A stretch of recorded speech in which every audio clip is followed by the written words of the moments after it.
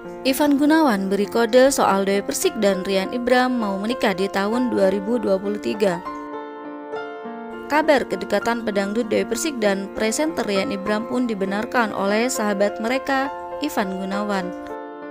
Pasalnya selain isu permasalahan yang dihadapi Dewi Persik dengan fans Leslar, hubungan spesial pedangdut itu dengan Rian Ibram turut jadi sorotan publik. Terlebih saat ini Dewi Persik masih berstatus janda Hal tersebut yang membuat sahabat Ivan Gunawan Rian Ibram memanfaatkan momen terbaik itu.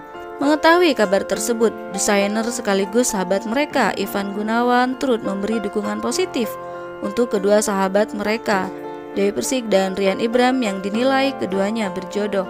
Gak tahu kenapa, tapi kalau gue lihat kayaknya DP dan Rian bisa jodoh deh, kata Ivan Gunawan seperti dikutip dari kanal YouTube Trans TV Official.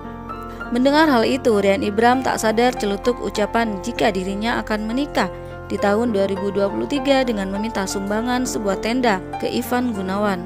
Insya Allah tahun depan sumbang tenda ya kak, ucap Rian Ibram. Namun sayang, alih-alih membantu Ibram, Ivan Gunawan justru menampik dengan mengatakan hal ini. Nah satu lagi, kalau mau ngawinin orang kalau nggak punya duit jangan kawin.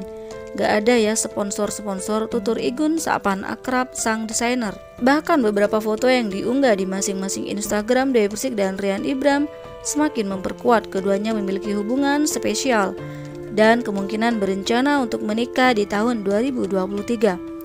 Selain Ivan Gunawan, tak sedikit pula warganet yang mendukung dan merestui jika Dewi Persik dan Rian Ibram benar-benar mau menikah. Bahkan ada yang menilai jika Rian Ibram sangat cocok untuk mendampingi DP. Sebab Rian Ibram sempat membeberkan sifat asli dari sang pedangdut senior yang suka marah-marah itu.